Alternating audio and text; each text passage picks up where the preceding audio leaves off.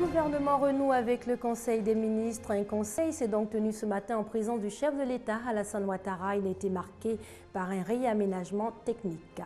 Autre sujet au menu de cette édition, le quotidien des élèves et enseignants de l'école primaire publique de Moronou passé à la loupe. L'ex-premier ministre libyen se réfugie en Allemagne. Hier, Ali Zeidan a été démis de ses fonctions par le Congrès. Bonsoir à tous et merci de vous informer sur RTI2. Cela faisait un moment qu'il ne s'était pas tenu. Il y a eu conseil des ministres ce matin au palais présidentiel. Le premier conseil des ministres présidé par le chef de l'État Hassan Ouattara après sa période de convalescence.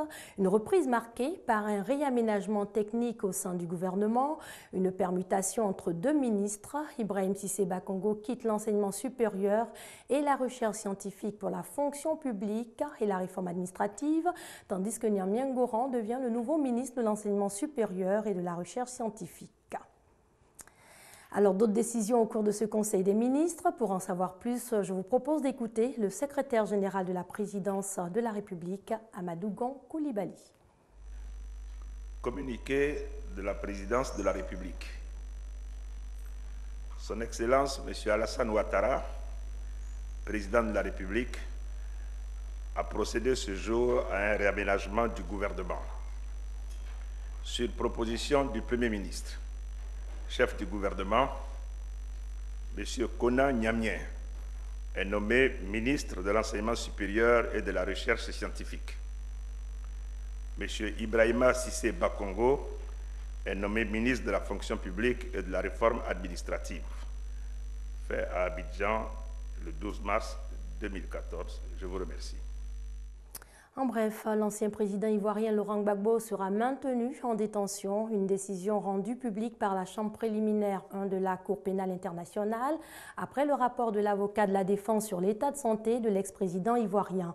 Cette procédure s'inscrit dans le mode de fonctionnement de la CPI qui doit statuer sur la demande de mise en liberté provisoire des prévenus au moins tous les 120 jours.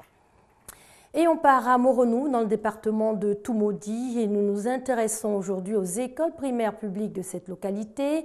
Selon notre reporter Grascando, ces écoles ne paient pas de mine. Élèves et enseignants font face à d'énormes difficultés. Regardez. Des élèves assis à quatre, parfois à cinq sur un même table banc. D'autres couchés à même le sol. Tous ont le même objectif à atteindre, mieux distinguer les lettres sur ce qui reste du tableau. Nous sommes à l'école primaire publique Moronou 1 dans le département de Toumoudi. Quand on écrit, les élèves ont du mal à voir. Donc ils sont obligés de venir se coucher pour pouvoir copier le cours. Il y a un même qui est venu s'asseoir une fois ici pour dire Madame, je ne vois pas. Donc c'est vraiment difficile. Que de difficultés dans cette école créée en 1959. 56 ans d'existence, l'école primaire publique Morodo 1 dans le département de Toumoudi croule sous le poids de l'âge. Insuffisance d'infrastructures, absence de toilettes, des classes à ciel ouvert. À ce lot de difficultés s'ajoute le problème de conservation des archives de l'école. Les toits sont vraiment trouillés. Si aux environs de 10h, 11h, ça veut que le soleil rentre je suis obligé de mettre les enfants vraiment d'un seul côté, travailler avec eux. Si à la pluie, la pluie rentre même. Là, on n'y peut rien. Les documents élèves, les documents du personnel enseignant se trouvent dans, euh, dans l'une une de, mes chambres. J'ai transformé une de mes chambres en, en, magasin. Autre préoccupation, les deux écoles primaires publiques de Moronou n'ont pas de clôture. Ces cantines de fortune ne sont plus fonctionnelles depuis un mois. Euh, ça fait un mois, on n'a plus de vivres. Donc euh, nous sommes obligés d'attendre. Le véritable problème que nous avons, c'est le problème de clôture. Ça fait que à toute heure, les gens passent, les villageois passent à moto, à vélo, dans la cour de l'école. Ça nous pose vraiment souvent des désagréments. Nous, tant que je parle, il y a une voiture qui traverse la cour de l'école. Et c'est à ce problème que nous sommes confrontés. Enseignants et élèves des écoles primaires publiques de Morono 1 et 2 espèrent la réhabilitation et l'équipement de leurs établissements qui ont formé bien le cadre du département. Demain, jeudi 13 mars, une date dédiée à la journée mondiale du rein. Le rein, cet organe vital qui possède de multiples fonctions et qui assure l'équilibre du sang et de l'organisme en général. La célébration de la journée mondiale du rein est une initiative de la Société internationale de néphrologie. Le thème retenu cette année est maladie rénale et vieillissement. Maïsako. Avec environ 600 millions de personnes affectées dans le monde selon des chiffres officiels, les maladies rénales constituent un véritable problème de santé publique. La structure anatomique et le fonctionnement du rein sont modifiés par des maladies chroniques telles que l'hypertension artérielle, le diabète et certaines infections. Le thème de la Journée mondiale du rein 2014, maladie rénale et vieillissement, illustre bien cette appréhension liée aux interactions entre de multiples pathologies et altérations fonctionnelles liées à l'âge. En Côte d'Ivoire, quatre greffes rénales ont été réalisées depuis 2012 et 500 patients sont traités par hémodialyse, dont plus de la moitié dans les trois centres publics du SAMU et des centres hospitaliers universitaires de Trècheville et de Yopougon. Pour accompagner les malades dialysés, le gouvernement a mis en place une subvention ramenant le coût des séances de dialyse dans le public de 2500 francs CFA à 1750 francs CFA, soit une réduction de 30%. En vue du renforcement des capacités des centres publics, deux nouveaux centres de dialyse ont vu le jour à Boaké et à Yamoussoukro. Deux autres centres devraient ouvrir leurs portes d'ici fin 2014 à Gagnoa et San Pedro. Pour sensibiliser les populations à l'offre des services de prise en charge, le gouvernement ivoirien lance un appel à la mobilisation. Qu'à l'occasion de cette commémoration de la Journée mondiale du Rhin 2014, le ministère de la Santé et de la lutte contre le sida organise le jeudi 13 mars dans les communes de Port-Boué et du Plateau des campagnes de sensibilisation et de dépistage gratuit de la maladie rénale pour le grand public. Journée mondiale du Rhin en Côte d'Ivoire, donc demain, célébration officielle avec des campagnes et des séances de dépistage prévues au foyer des jeunes d'Adioufou dans la commune de Port-Boué.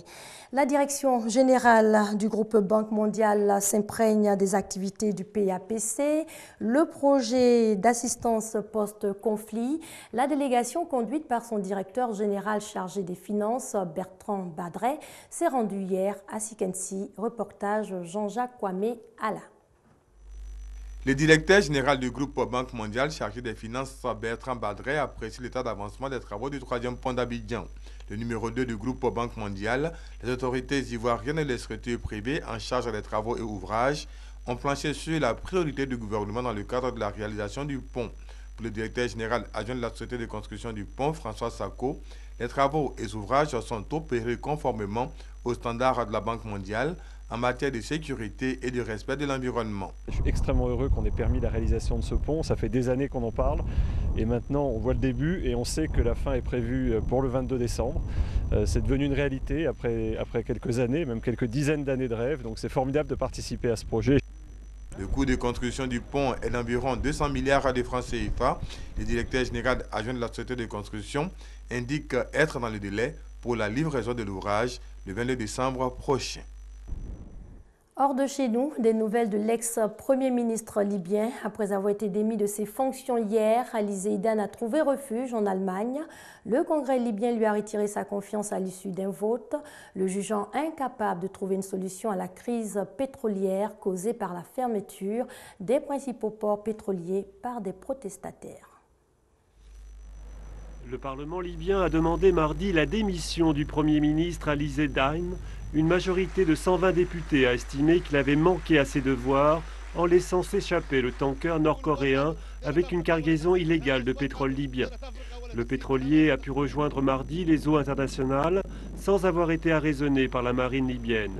Ali Zeidan, en fuite, a pris un vol pour Malte, d'où il devait rejoindre l'Allemagne. Le Parlement a démis M. Al-Zaïdan de son poste de Premier ministre. Il sera remplacé pour une durée de deux semaines par l'actuel ministre de la Défense, M. Abdullah Al-Thani. Dès sa prise de fonction, le nouveau Premier ministre Abdullah Al-Thani a décidé l'envoi de forces armées pour reprendre possession des terminaux pétroliers tenus par les rebelles. Les autonomistes de l'Est libyen ont depuis août provoqué les autorités centrales en formant un gouvernement provisoire et une compagnie pétrolière autonome. Mais la livraison illégale de pétrole aux tankers battant pavillon nord-coréen a précipité les choses. La confusion est totale en Libye, où les groupes autonomistes de la Cyrénaïque ont promis une ferme riposte en cas d'attaque. Et puis au lendemain d'une soirée de violence, de nouveaux affrontements ont opposé aujourd'hui police et manifestants en Turquie. Les funérailles d'un garçon de 15 ans mort des suites de blessures causées par une grenade lacrymogène ont entraîné un regain de tension politique. La police a interpellé mardi soir plus de 150 manifestants lors des violentes manifestations qui ont agité une trentaine de villes de Turquie pour dénoncer la mort de Berkin Elvan, un jeune de 15 ans. Grièvement blessé par la police en juin 2013, il est resté dans le coma 269 jours après une blessure à la tête par une grenade lacrymogène. Son décès a provoqué une vague de colère dans tout le pays. Il est devenu le symbole de la répression policière ordonnée par le Premier ministre Erdogan. Ces funérailles mercredi ont attiré une foule nombreuse chargée d'émotions venues de toutes les régions du pays. Disparition du Boeing 777 après quatre jours de recherche. Le mystère reste entier et une nouvelle piste à explorer selon les enquêteurs. Il faut explorer plutôt la piste de la trajectoire qui aurait changé après le décollage de l'avion. Critiqué par la Chine, la Malaisie défend son enquête. Le désespoir est tel que c'est au chaman que les Malaisiens ont pensé. Une cérémonie pour rappeler le vol MH370 organisé mercredi dans l'aéroport de Kuala Lumpur. Depuis cinq jours, aucune nouvelle du Boeing 777 de la Malaysia Airlines et des 239 personnes à bord. Un cas rarissime lors d'une catastrophe aérienne. Une dizaine de pays ont lancé vaisseaux et avions en vain. Une personne peut survivre dans l'eau pendant 72 heures au moins avec beaucoup de volonté. Un être humain peut survivre sans eau ni nourriture s'il est déterminé à survivre. Mais après cette période, les chances de survie sont de plus en plus faibles et nous en sommes là. Au départ, la zone de recherche s'étendait autour du dernier point de contact avec le Boeing. Peu à peu, elle s'élargit et couvre maintenant des centaines de kilomètres, loin du trajet initial de l'appareil. Quand on regarde les enregistrements, ils prouvent que cet appareil a pu faire demi-tour. Mais nous ne sommes pas sûrs qu'il s'agisse bien du même appareil. En tout cas, il était à ce moment-là dans la zone d'où nous est parvenu le signal sur l'écran radar qu'un avion faisait demi-tour. Le discours est confus. Les autorités malaisiennes semblent dépassées par la crise. La Chine, qui avait 153 ressortissants à bord, se fait de plus en plus critique, tout comme les familles, maintenues dans l'angoisse faute d'éléments concrets. La première chose à savoir, c'est où est cet avion et puis aussi quels sont les efforts qui sont faits pour retrouver les débris de cet appareil. Il a juste disparu de la surface de la Terre.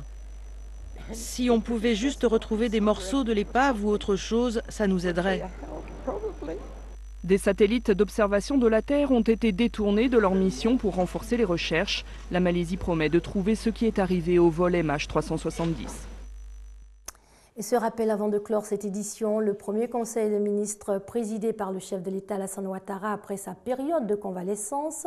Ce conseil s'est tenu aujourd'hui, une reprise marquée par un réaménagement technique au sein du gouvernement, une permutation entre deux ministres. Ibrahim Sissé Bakongo devient ministre de la fonction publique et de la réforme administrative, tandis que Niamey Ngouran prend sa place au département ministériel de l'enseignement supérieur et de la recherche scientifique. C'est la fin de cette édition. Merci à vous de l'avoir suivi. Excellente soirée sur les antennes de la RTI, la marque du service public.